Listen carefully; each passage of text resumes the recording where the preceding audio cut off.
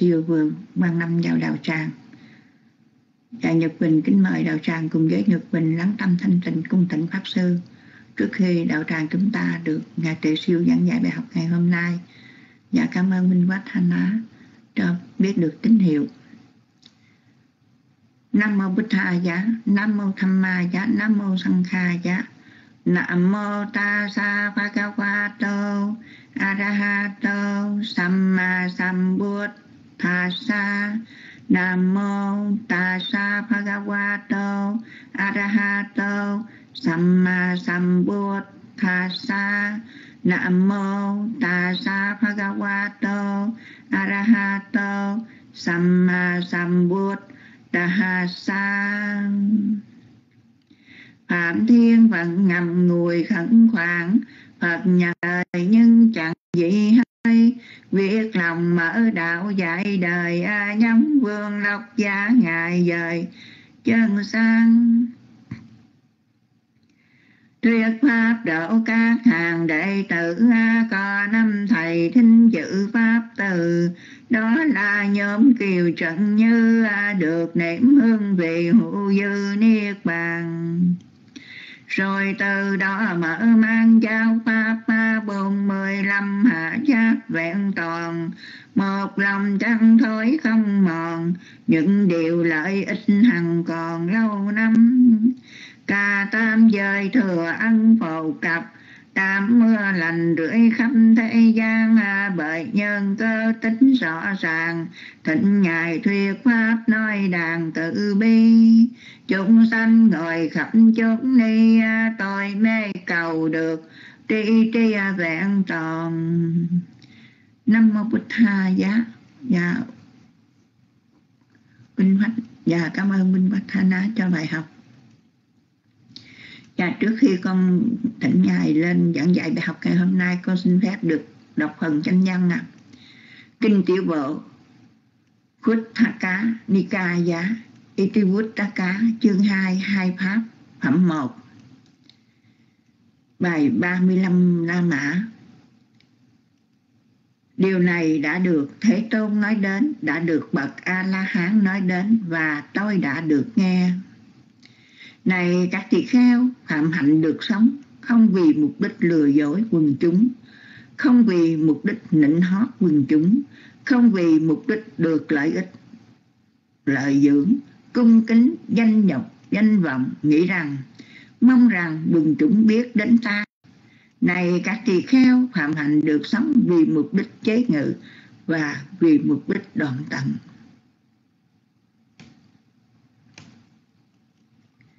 Thế Tôn đã nói lên ý nghĩa này, ở đây điều này đã được nghe.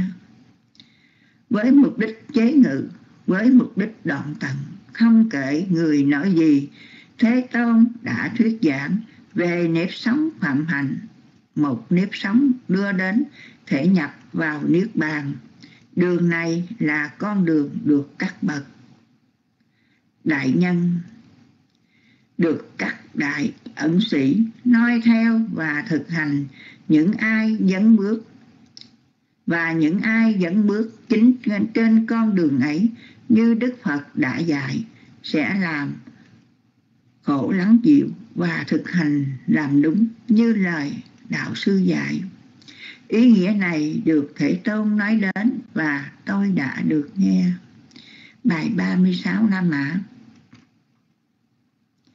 Điều này đã được Thể Tôn nói đến, đã được Bậc A-La-Hán nói đến và tôi đã được nghe.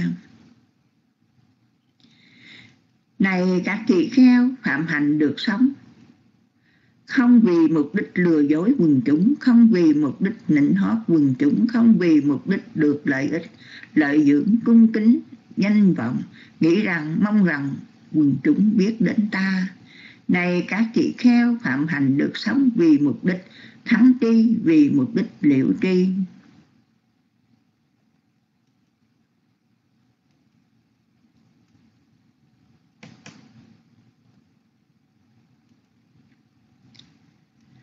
Thế Tôn đã nói lên ý nghĩa này, ở đây điều này được nói đến với mục đích thắng tri, với mục đích liệu tri, không phải người nói gì Thế Tôn đã thuyết giảng về nếp sống phạm hạnh. Một nếp sống thể nhập vào niết bàn. Đường này là con đường được các bậc đại nhân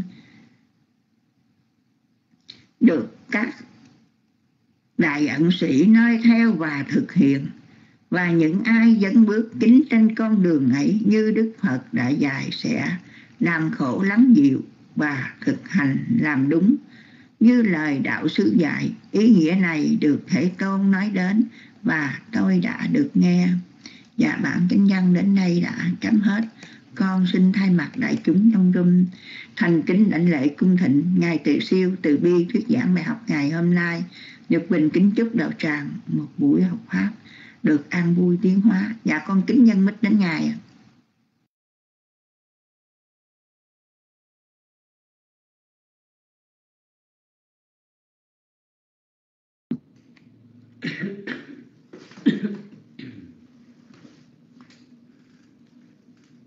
nam mô bổn thầy dạ.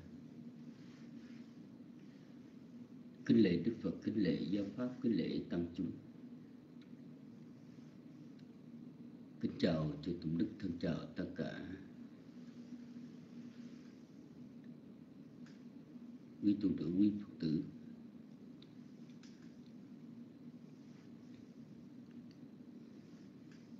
Hôm nay chúng ta học hai bài kinh. Đều là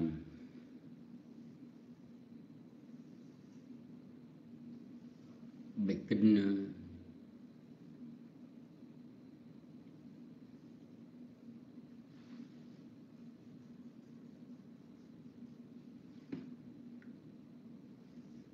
ờ, Anakuhana Niệm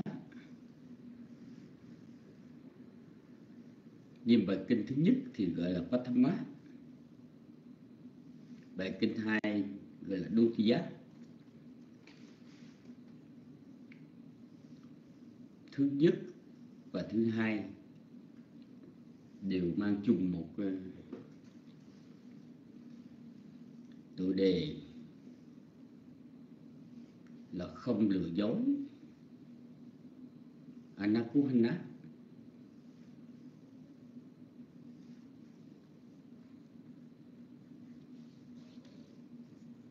về ý nghĩa của bài kinh này thì ờ,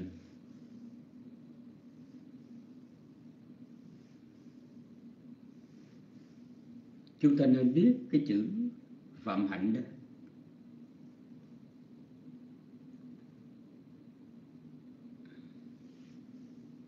Nó tới mười nghĩa.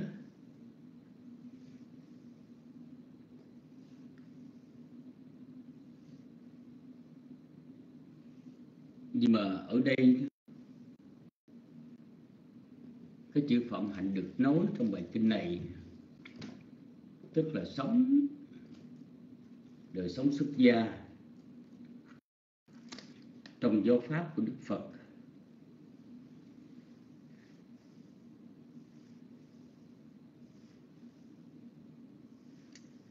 trở thành một vị tỳ kheo. Gọi đó là Brahmachari Yangusti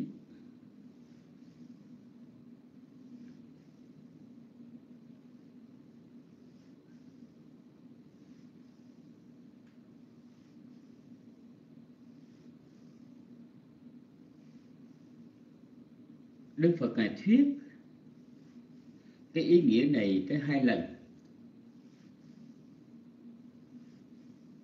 Một lần thì ngài thuyết,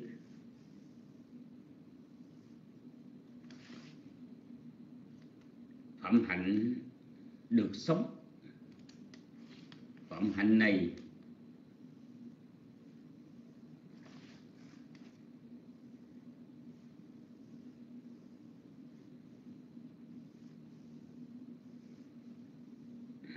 cái chữ đầu chữ na di đăng đó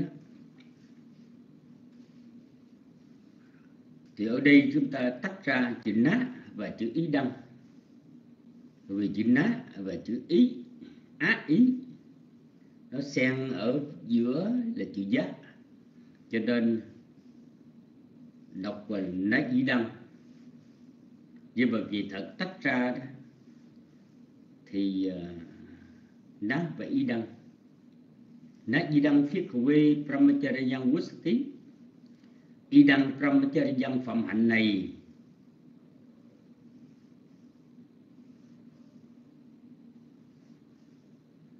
Tí là được sống.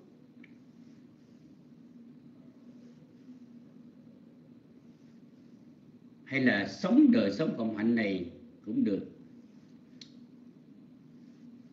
Na, chân nát cô hay nát thân không có vì cái mục đích là lừa dối quần chúng.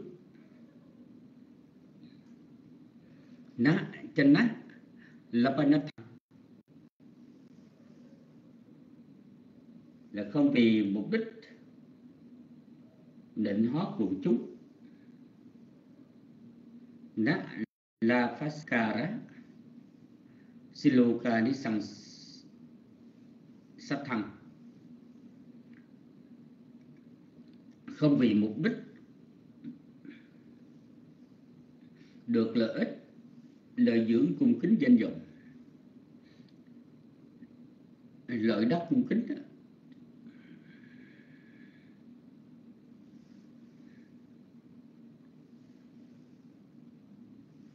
Na chanh mang chanh na tu tí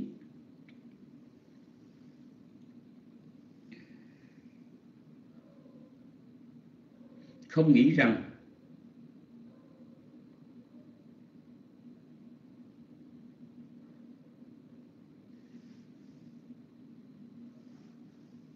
mong quần chúng hãy biết đến ta.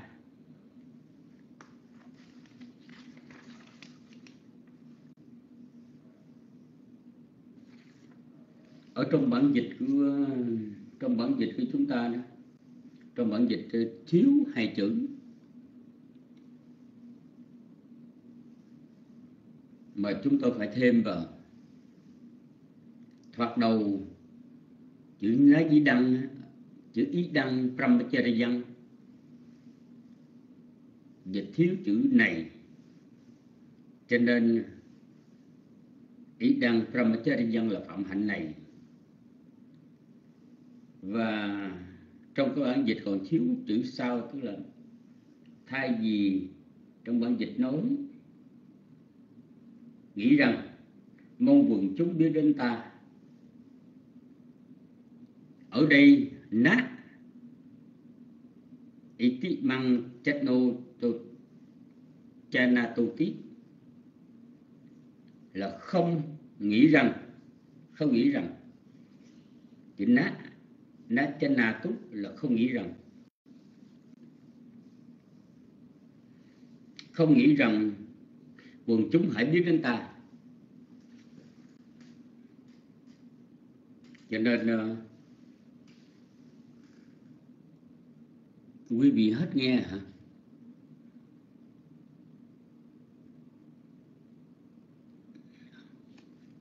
Ồ tốt quá. Cả hai bài kinh này nó có cái mệnh đề dẫn nhập giống nhau ở điểm Đức Phật này dạy rằng,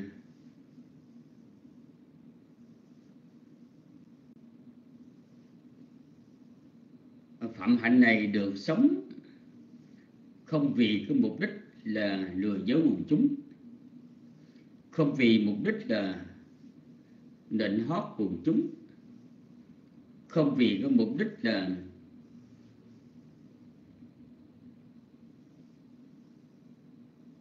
lợi ích.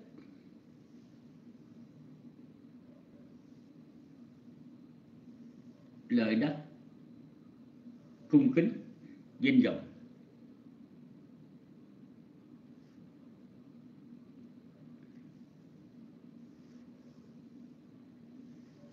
Mà cũng không có phải vì nghĩ rằng mong quần chúng biết đến ta. Nếu như vậy thì ờ, ở đây sống đời sống phẩm hạnh này, tức là tu xuất gia trong giáo pháp này nhằm mục đích gì? Chúng ta phải ờ,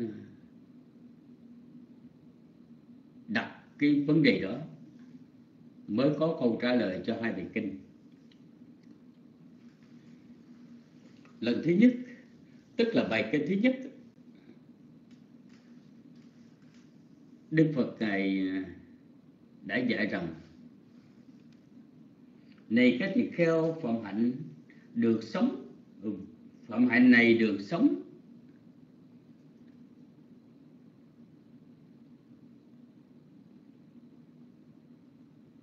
vì mục đích.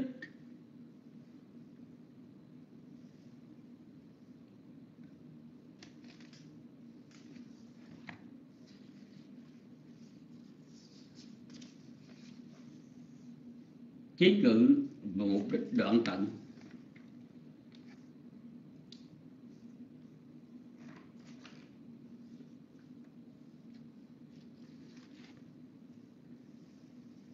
Ở bài kê thứ nhất, hai cái mục đích của đời sống không hạnh. Sankarat thành trì quá Pahana thành chà tí. Chữ chà tí, chữ ý tí ở sau chúng ta bỏ qua một bên đi. Chúng ta chỉ có hai cái mục đích là Sankarat thăng Pahana thăng chữ át thăng ở phía sau cái từ Sankara sau từ Vahana chữ át thăng tức là mục đích.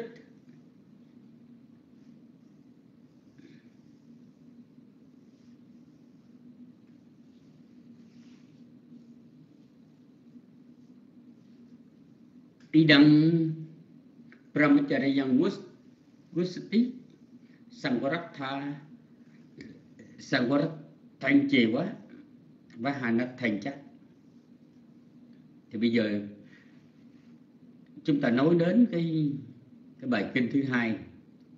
Bài kinh thứ hai và đức phật thuyết trong trường hợp khác. Thì ngài à, cũng nêu lên vấn đề là phạm hạnh này được sống không vì mục đích lừa dối quần chúng, không vì mục đích nền hót quần chúng, không vì mục đích hưởng được lợi đắc cung kính danh vọng. Chữ a đi săn sát là đây là hưởng được.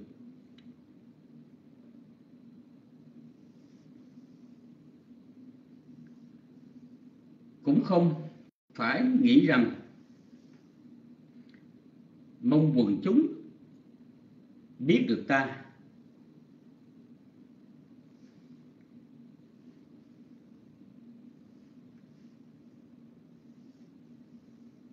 Mà này các thì kheo. Phẩm hạnh này được sống vì mục đích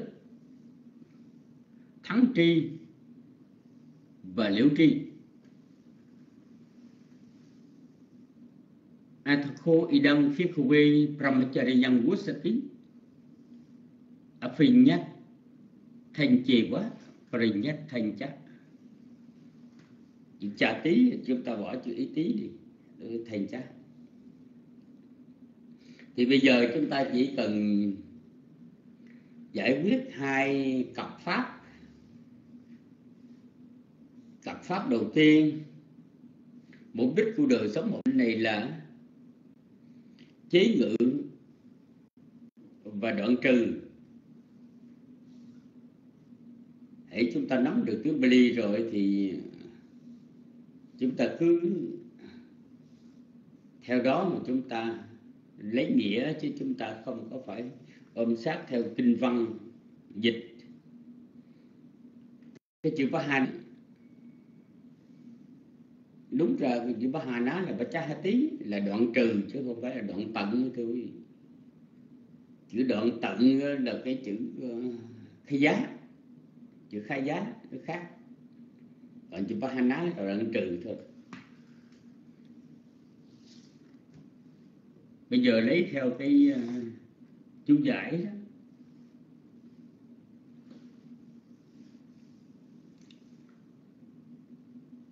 Mục đích của đời sống phẩm hạnh nói theo cái bài kinh thứ nhất. Thì ở đây có hai sang quá thăng. Và hai nó thăng. Thì cái chữ sang quá thăng đó là một cái chế ngự. Ở trong chú giải nói đến năm cái pháp chế ngự.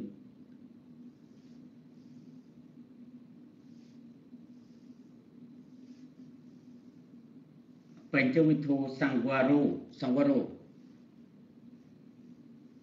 Một là sự chế ngự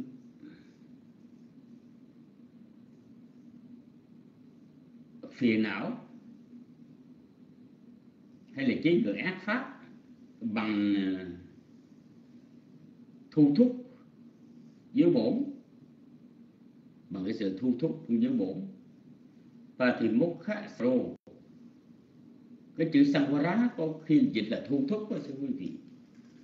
Ở đây ngài, có lúc thì ngài và thượng minh châu ngài dịch là chế ngự, có lúc của ngài dịch là thu thúc, nhưng mà ở đây chúng ta thấy chữ sawaro dịch là thu thúc. Với bổn thu thúc. Thứ hai, sati samvara là niệm thu thúc. Thứ ba là nhà sangwara là trí thu thúc. Khanh tí sangwara là nhẫn thu thúc. Và Sankaro tức là cần thu thúc.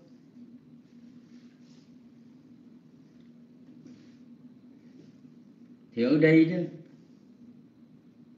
khi mà một vị xuất gia ở trong giáo pháp này, sống đời sống vọng hạnh này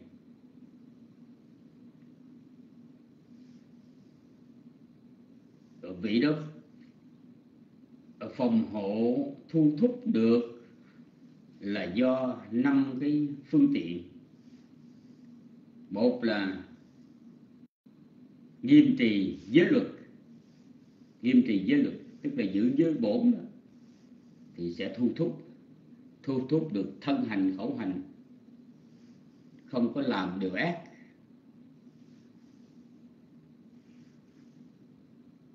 Thứ hai nữa là niệm thu thúc. Tức là khi mắt thấy cảnh sắc, tai nghe tiếng mũi ngửi mùi lưỡi nếm vị thân xúc chạm ý suy nghĩ. Vị đó có chánh niệm.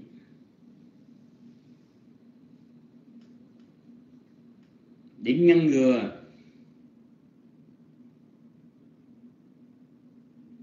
những tham ưu sẽ sanh khởi do mắt thấy, tai nghe, mũi ngửi lưỡi nếm, thân đụng và ý suy nghĩ. Nhờ có niệm, khi thấy, biết là thấy, khi nghe, biết là nghe, khi ngửi, biết là ngửi, khi nếm, biết là nếm, khi đụng, biết là đụng, khi suy nghĩ, biết là suy nghĩ. nhờ chánh niệm đó đó. Cho nên các cái phiền não pháp không sinh khởi. Thì như vậy gọi là niệm thu thúc. Hay là cái sự phòng hộ các căn bằng bằng niệm, bằng chánh niệm.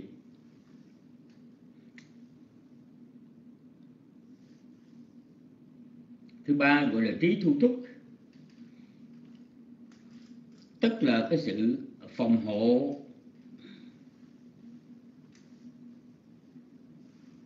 Bằng cái trí tuệ, suy xét. Bằng cái trí tuệ suy xét. Như vị tỳ kheo nọ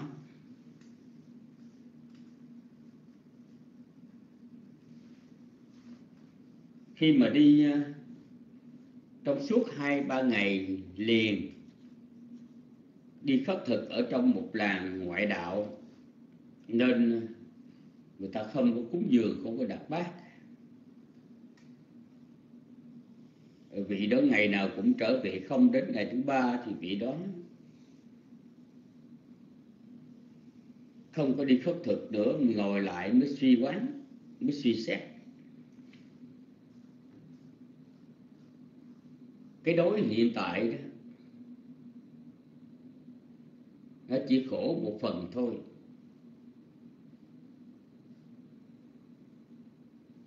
Nếu mà so với quá khứ, thì ta đã lâm vào cái cảnh đối khắc khổ sở không biết bao nhiêu kiếp rồi. Và hiện tại được sống trong giáo pháp này. Mà nếu ta không đạt được cái mục đích cứu cánh của đời sống phong hạnh thì ờ, sau khi mệnh chung, phải tái sanh vào những cảnh giới có thể là rơi vào địa ngục hay ngạ quỷ, thì khi đó đối khổ gấp trăm, gấp ngàn, gấp trăm ngàn lần. Cái đối khổ này, khi mà suy xét như vậy bằng trí tuệ đó, thì vị tỳ kheo đó không cảm thấy bị đối nó hoành hành. Này cứ, vị này yên an tâm và ngồi thiền, phát triển minh sát tuệ và chốc lát vì đã vì đã chứng được quả vị a la hán thì ở đây, thưa quý vị, cái gọi đó là một cái sự phòng hộ hay là cái sự thu thúc bằng, hay là cái sự chế ngự bằng trí tuệ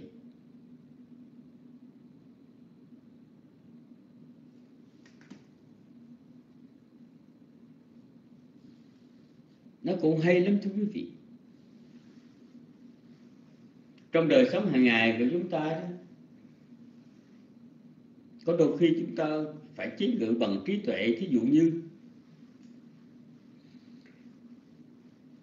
sáng chiều chúng ta cứ nghe tin tức, đọc tin tức,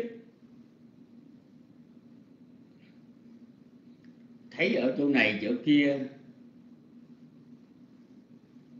bị nhiễm covid, người ta tử vong rất nhiều. Chúng ta nghe chúng ta cũng chột dạ. Chúng ta cũng lo lắng. Thì lúc bây giờ người phật tử chúng ta phải dùng trí mà suy xét.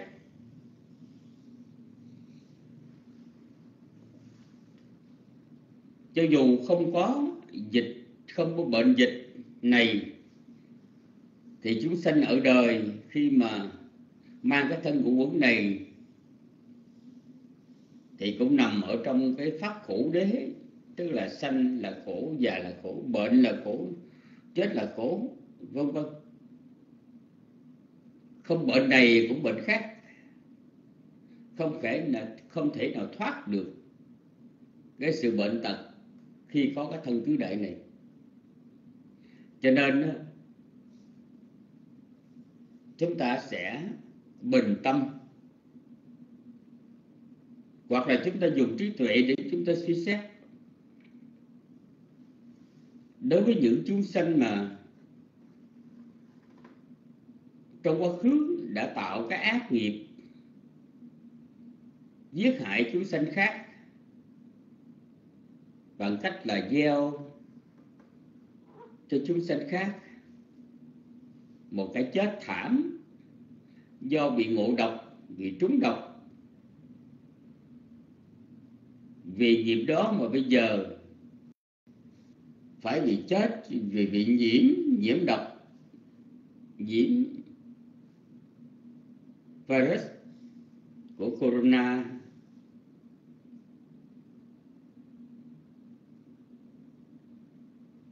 Còn khi mà chúng ta tự tin rằng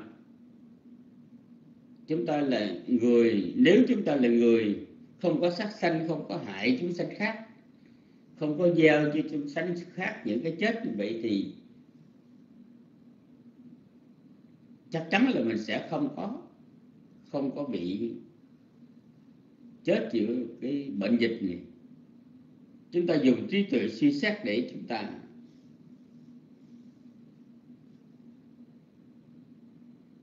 được được an tâm.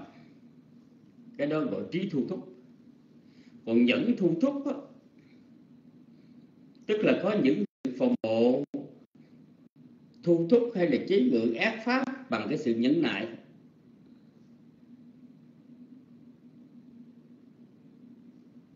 Nếu mà không có sự nhẫn nại đó thì con người của chúng ta còn phàm phu thì chúng ta gặp cảnh chúng ta rất có thể là chúng ta tạo những ác nghiệp.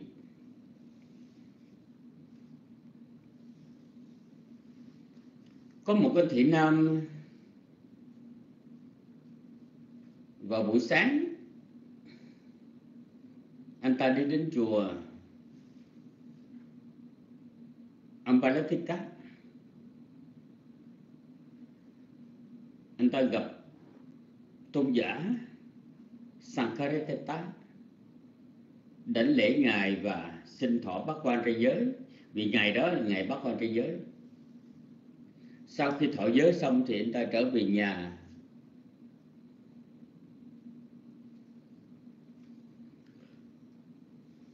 Lúc mà anh ta đi vào rừng để anh ta tìm thức ăn tìm trái cây trái cây rừng và núi thì lúc đó, anh ta bị một con trăng, nó tấn công. Và con trăng này nó quấn xiết anh ta. Thì trong lúc nguy cấp bị trên tay anh ta cầm sẵn một cái rửa bén dùng để đem đi rừng. Đốn củi. Lúc đó anh ta định sẽ thoát thân bằng cái sức mạnh và cái lưỡi cái lưỡi rửa đó. Nhưng mà lúc bây giờ anh ta kịp nhận ra, sáng hôm nay ta đã bỏ trì bắt quan thế giới. Ta không thể vì cái mạng sống, giữ cái mạng sống này mà phạm cái giới sát sanh được. Thế là anh ta nhẫn nại chịu đựng. Khi mà anh ta có cái sự khanh nhẫn chịu đựng cảm thọ khổ đó để chờ giờ chết thì ngay khi đó, con trăng, nó có cảm giác như là nó đang quấn nhầm cái cái ống ống khói lò đang cháy. Ống khói quả lò đang cháy. Nó cảm thấy nóng nảy, cái nó tháo ra bỏ chạy. Ở trong thanh tịnh đạo có vậy, có trình bày cái việc đó, thưa quý vị. Một người giữ giới và do nhờ cái sự nhẫn nại mà họ họ giữ giới được tốt. Ở trong cuộc sống chúng ta có nhiều trường hợp chúng ta, khi chúng ta nghèo, chúng ta đói, mà chúng ta gặp tài sản của người khác, nhiều khi nó dễ sanh lòng tham mà cướp lấy, trộm lấy cái đạo phạm giới. Nhờ chúng ta kham nhẫn được, chịu đựng được với cái nghèo của mình, cái thiếu thốn của mình. Cho nên mình không có phạm trộm cắp. Hay là gặp người họ mắng chửi mình, họ đã kích mình. Lúc đó mình nổi nóng. Và đức phật này dạy rằng này cái tỳ kheo.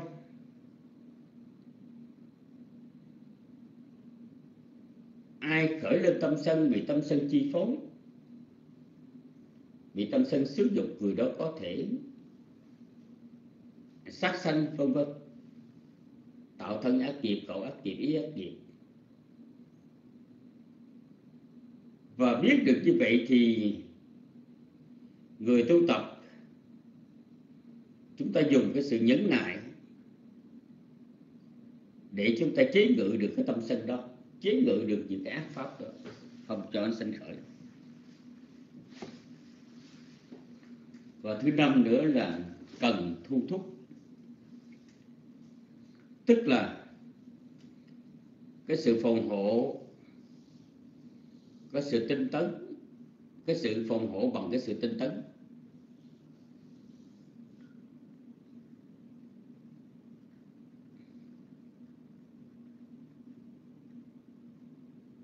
Ở đây ngày xưa thời đức phật.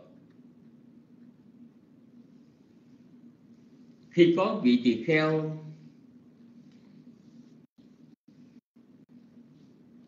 đi khất thực một ngày, rồi để dự trữ thức ăn lại, để ăn cho hai ba ngày sau, khỏi mất công đi đi khất thực. Hai ba ngày đi khất thực lần gì vậy.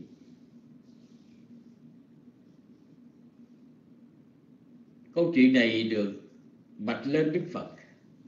Đức phật này gọi vị tỳ kheo đó đến và ngài quở trách. Đi khất thực cũng là một cái sự nuôi mạng chân chánh. Mà sự nuôi mạng chân chánh đó được thành tựu là do nhờ cái sự tinh tấn.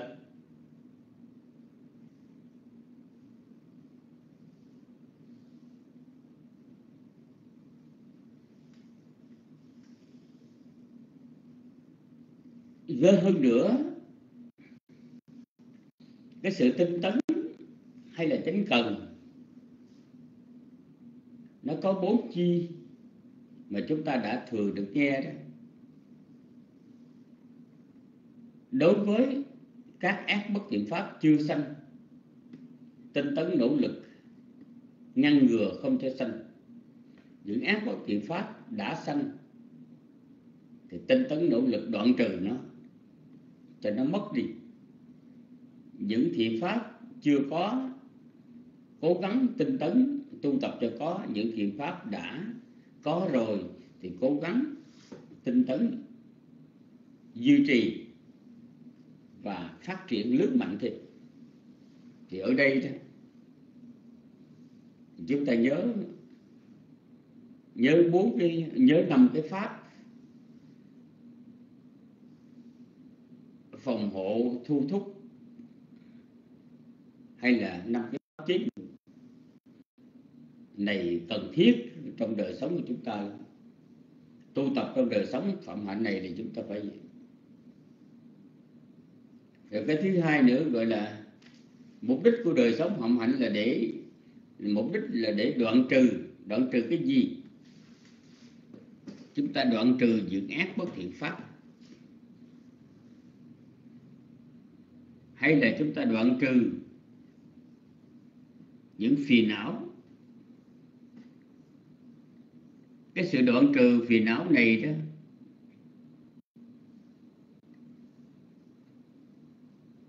như là tham sân si, vân vân.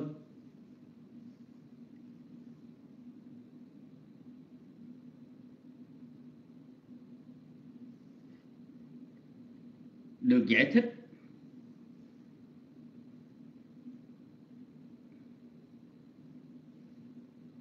có năm cái sự đoạn trừ. Ta đăng gấp hà năng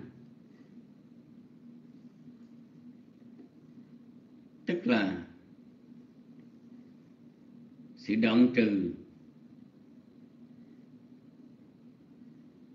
nhất thời. Quyết khâm phanh á ba hà năng tức là đoạn trừ bằng cách là khống chế.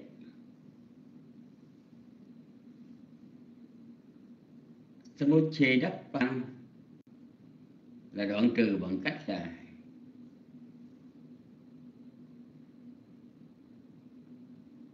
dứt tuyệt.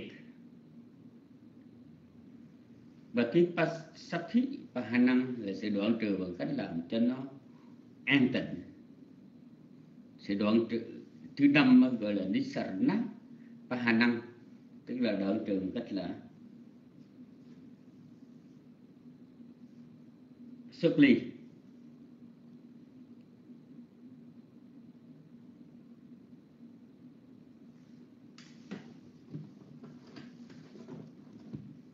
Khi mà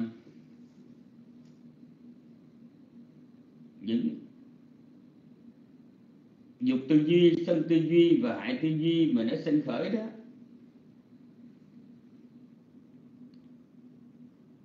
Chúng ta dùng cái phương pháp áp chế nó.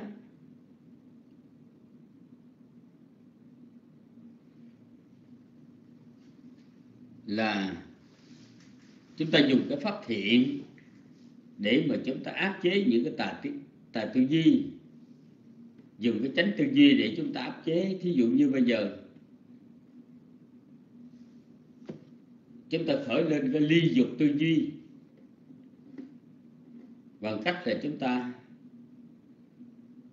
à, sát xét ba hai thể trượng hay là niệm về sự chết chẳng hạn để chúng ta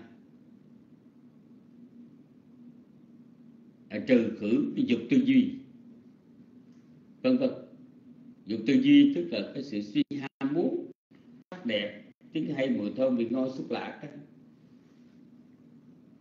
thì ở đây chúng ta có thể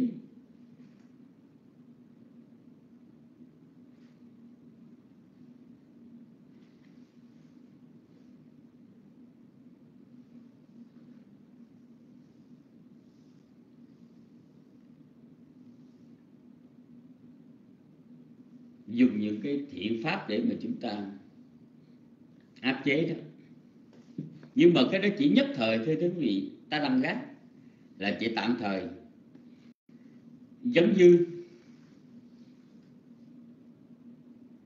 người thợ mộc, họ dùng cây nêm thứ hai để họ lối cây nêm thứ nhất ra ngày xưa khi người ta cất nhà bằng gỗ, người ta đục lỗ nó rộng chút xíu.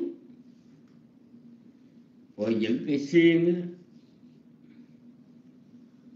xỏ qua, rồi tới cái ngàm, cái miệng ngàm đó, cái người ta thả xuống, cho nó nằm phập xuống dưới. Nó giữ lại đó, thì ở phía trên nó sẽ trống, trên lưng của cái cái cái xiên đó nó sẽ trống thế là người ta dùng cái nêm để người ta nêm cứng nó lại. Thì cái nhà này không có lúc lắc. Ai mà thờ mộc mà có có cất già là chúng ta hiểu được cái thí dụ đó rồi. Thì bây giờ người ta đóng, đương nhiên người ta nêm lại chân cứng. Rồi đến trường muốn tháo ra, người ta phải dùng cái nêm thứ hai để người ta lối ngược ra ngược ra. Rồi người ta mới nâng cái xiên nó lên mới rút ra khỏi cái cái lỗ mộng. Thì cái đêm thứ nhất, để nên dùng cái đêm thứ hai để mà lối ra, thì chỉ tạm thời, chừng nào mà cái đêm thứ hai mà đó, nó văng ra rồi đó, ở cái đêm thứ nhất mà văng ra rồi thì cái đêm thứ hai người ta cũng tháo ra cho người ta không có để cũng như thế nào thì ở đây như vậy. Hễ khi ác bất thiện pháp và nó sanh khởi, chúng ta dùng những cái thiện pháp để mà chúng ta chúng ta tạm thời chúng ta trừ khử nó. Gọi là ta đăng gấp, ta hà năng. Cần quyết không phá nắp ta hà năng đó. Tức là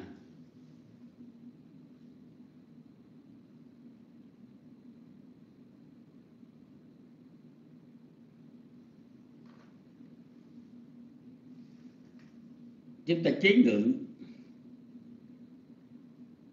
Đoạn trừ một cách là chế ngự. Thí dụ như là chúng ta dùng cái pháp thiền. Chúng ta hành thiền. Trong cái pháp thiền nó có năm chi thiền là tầm tứ hỷ lạc định. Tầm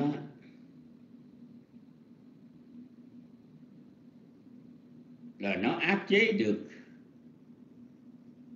hôn thủy hôn thủy cái, tức là sự buồn ngủ giả dự còn tứ chi tứ, thiền là cái sự bám sát cảnh là nó áp chế được, nó khắc chế được cái hoài nghi cái. Hỷ, chi hỷ nó áp chế được sân độc cái. Chi lạc thì nó áp chế được trạo hối cái. Và nhất hành, tức là định thì nó áp chế được tham dục cái hay là dục dục cái. Thì khi mà mình tu chứng thiền, sơ thiền là một trạng thái hỷ lạc do ly dục ly bất thiện phát sinh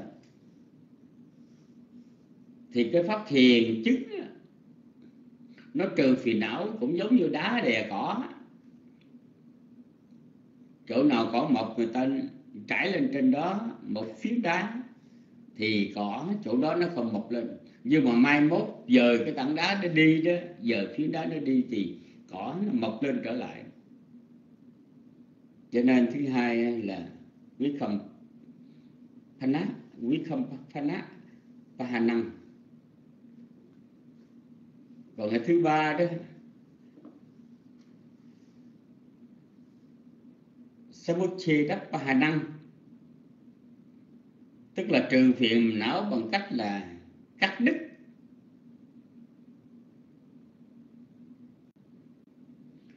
Trừ phiền não bằng cách đứt ở đây đó, tức là để chỉ cho trí tuệ ở trong tâm đạo. Mắc cách mắc cái chết tá khi mà tuệ đạo sanh khởi, thì nó cắt đứt phiền não đó.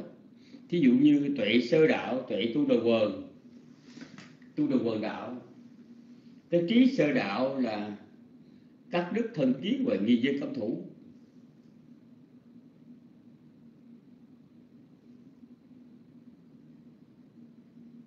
Vân vân tức là nói đến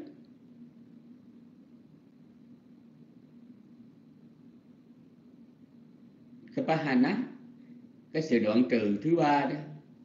Vâng là chúng ta phải hiểu đó là chỉ cho tâm đạo sinh khởi.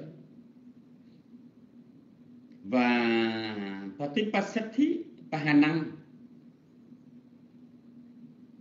là đoạn trừ bằng cách là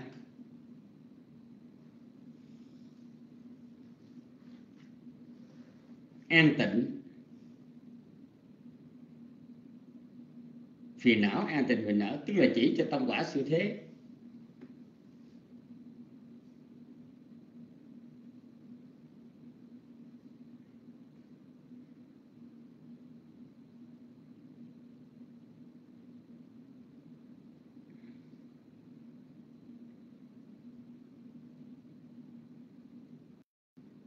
Cái tâm quả siêu thế đó thí dụ như sơ đạo thì đoạn trừ hay là cắt đứt thân kiến và ghi với cũng và sơ quả sanh khởi lên là để làm cho không còn vĩnh viễn. Không còn phiền não vĩnh viễn, không có thân kiến và nghi với không cấm thủ sanh khởi cho cái vị tu đồ quần nữa.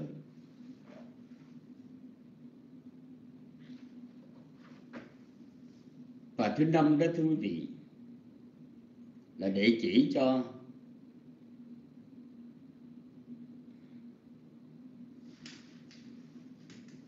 Nisaranap Pahanam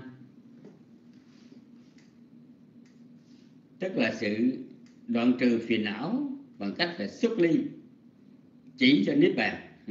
Dễ lắm, quý vị. Năm cái pháp này nó đơn giản quá đi bây giờ quý vị nhớ chúng ta đoạn trừ phiền não theo năm cách. Một là chúng ta dùng pháp thiện này sanh khởi cái tâm thiện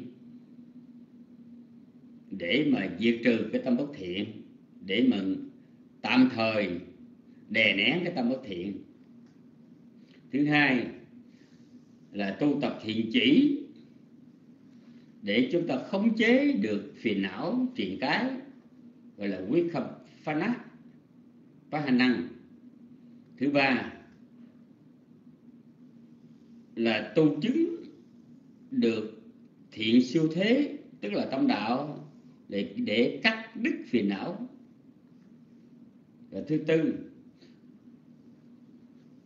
là chứng được tâm quả siêu thế, là để làm cho an tịnh phiền não và thứ năm là giác ngộ niết bàn. Khi chúng ta niết bàn rồi thì xuất ly phiền não, không còn phiền não nữa. Thì bài học hôm nay đó, lẽ ra thì chúng tôi lúc ban đầu định là sẽ thuyết hai bài chung lại. Nhưng mà chúng tôi thấy ở trong chú giải liệt kê những cái chi pháp hay quá. Cho nên nếu mà giảng phớt phớt qua thì uổng. Cho nên thôi, chúng ta chỉ học chỉ học hai cái mục đích của đời sống hồng hạnh trong cái bài thứ nhất. Mục đích của đời sống hồng hạnh là để ừ, phòng hộ và để đoạn trừ, phòng hộ và đoạn trừ. Để phòng hộ, tức là ngăn không cho ác pháp nó sinh khởi. Do thấy nghe ngửi nếm đụng, vân vân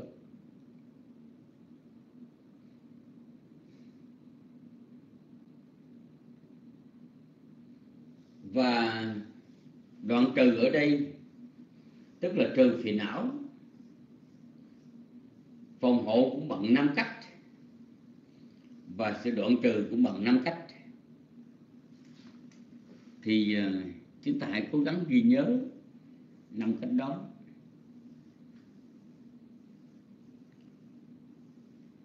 Mười cách đó. Thật ra nó không phải là vấn đề này không phải là khó hiểu cho người phật tử chúng ta. Nếu như mà chúng ta chỉ đọc suông ở trong cái bài kinh mà chúng ta không có nghe giảng, không có được nhắc đến chi pháp ở trong chú giải, thì chắc có lẽ là chúng ta sẽ coi phớt qua, chúng ta không hiểu. Này các tỳ kheo phạm hạnh được sống vì mục đích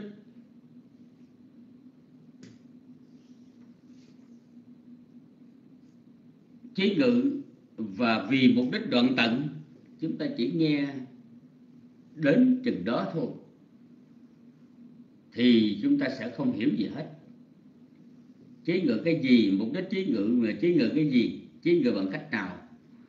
Và mục đích đoạn tận đoạn tận cái gì và đoạn tận như thế nào? Thì chúng tôi xin trình bày với quý vị ý nghĩa này trong bài kinh thứ bảy tuần sau đó chúng ta à, sẽ học tiếp bài kinh thứ hai cũng nói đến hai cái mục đích của đời sống phòng hạnh. À, hôm nay lẽ ra là cái ngày à, tết dương lịch. Thì à, chúng ta sẽ được nghỉ.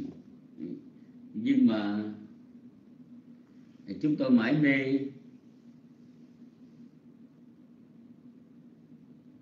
chúng tôi quên nhắc cho quý vị mà các phật tử chúng ta cũng vì à, cầu pháp, cho nên chúng ta cũng không không cần nghỉ ngơi cái ngày à, ngày tết dương lịch. Thì sẵn dịp này thì sư sư cũng xin à, chúc mừng năm mới đến toàn thể quý phật tử học viên ở trong room chúng ta đã qua cái năm 2021 hôm nay chúng ta bước sang 2022 bước sang năm mới.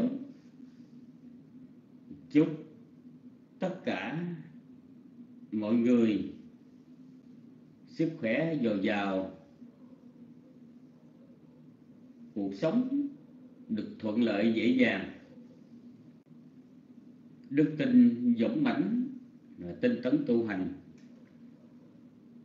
để trong dòng sanh tử luân hồi, nếu chưa được giải thoát thì chúng ta được nhờ cái phước báo đó chúng ta sống an lành, hạnh phúc.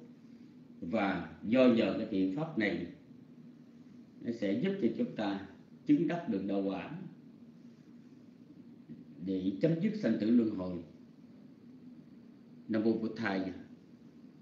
Bây giờ thì ờ, đã vừa hết giờ. Xin kính thỉnh thượng tọa minh hạnh quan hỷ chúc phúc phước báo cho trung nam mô bổn thầy.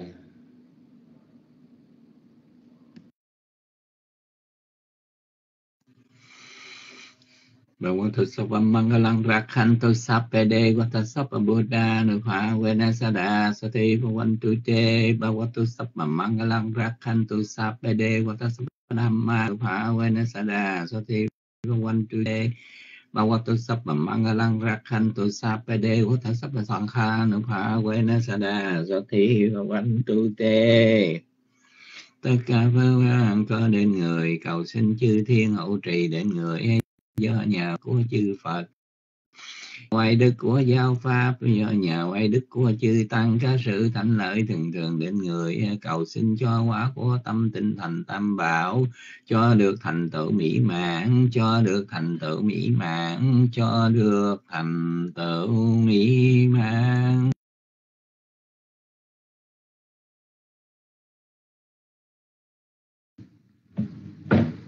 Dạ, sa thú, sa thú lành hai.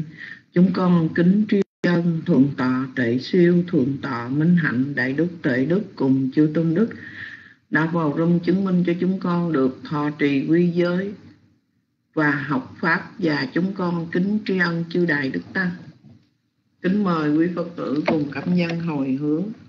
Gia Lê Quá Ta Santi